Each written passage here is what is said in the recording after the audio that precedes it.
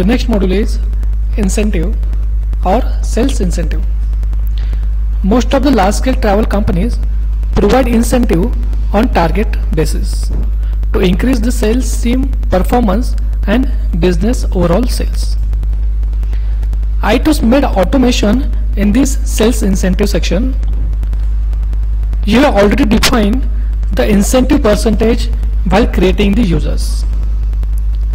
The incentive is calculating on profit amount basis and the sales team can see the total sales and incentive amount on their dashboard itself.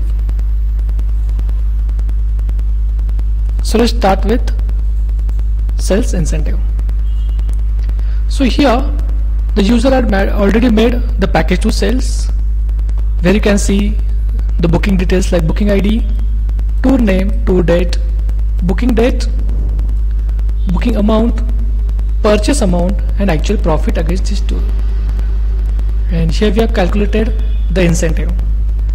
The admin can modify the incentive and export into the Excel file. The end of the month, the salary will be generated.